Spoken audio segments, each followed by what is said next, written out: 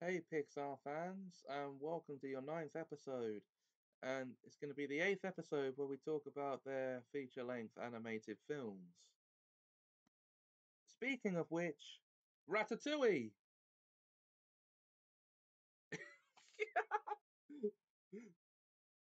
was their eighth. Was their eighth animated feature length film. Released in 2007, here's a brief synopsis for you. By the way, click away now if you haven't seen the film yet. From the creators of Cars and the Incredibles comes a breakthrough comedy with something for everyone.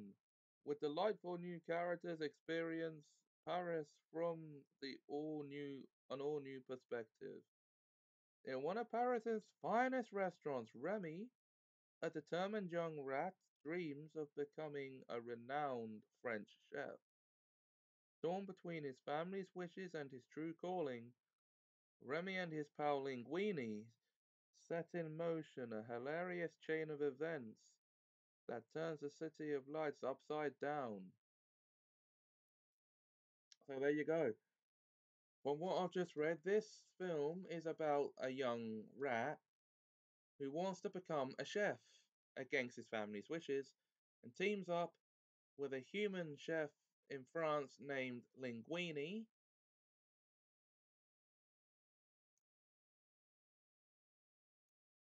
Who actually acts as his guardian rat underneath his hat and helps him to become a chef. Well, he's already a chef, but um, but Linguini helps Remy to become the chef he wants to be.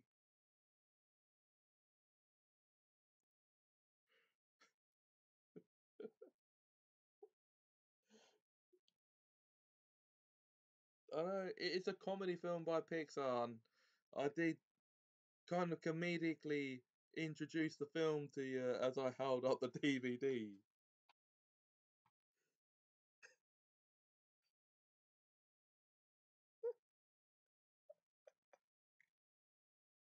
Ah,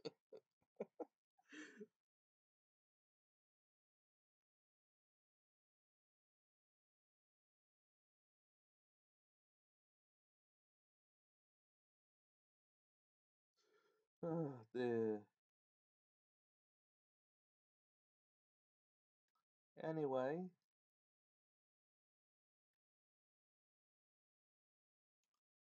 if you want to know what ratatouille is, it's actually a French dish. I guess we would have known that the name of the dish is the title of the film. So, yeah. Well, that's it for this episode of Pixar Cast.